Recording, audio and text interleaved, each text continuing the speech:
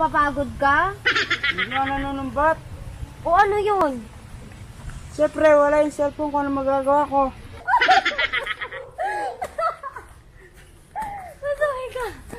Napagod ako, hiningal ako ah. Ang lalim ng pool doon. Ha? Ang lalim.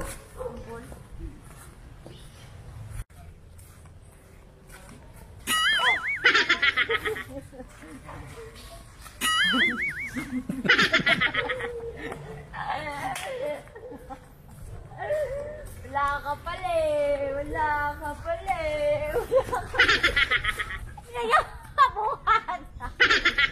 Pahinga na. Pahinga na. Au. Yung itsura niya. Hindi mapita.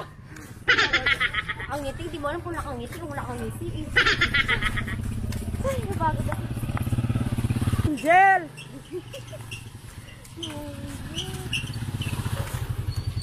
O ano? Ano? Ito nga, pagsigawan mo nga. Mahal na mahal kita, Mariano!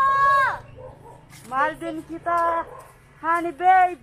Diba, napaka-basic. Sigaw siya ng gano'n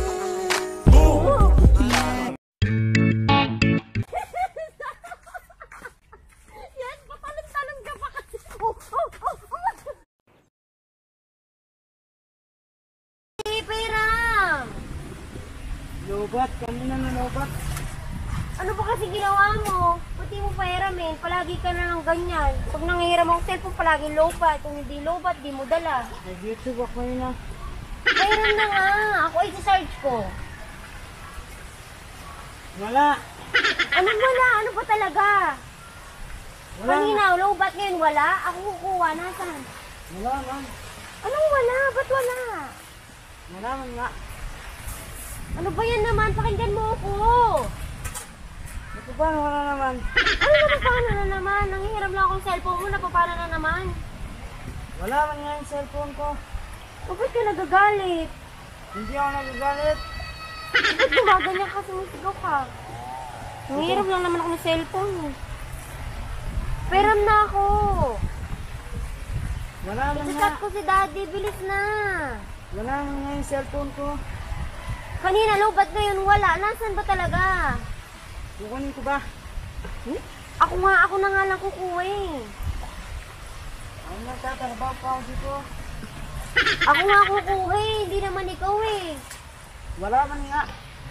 Puro ka wala eh. Ano nga, dali. Wala man. Ano ba yan? Bilisan mo na. Ano puro ka wala? Napapagod na ako dito. Ikaw naman. Nanghirap lang ako ng cellphone. Nanunumbat ka na na napapagod ka? Ka nanunumbat. O ano yun? Siyempre, wala yung cellphone ko ano magagawa ko.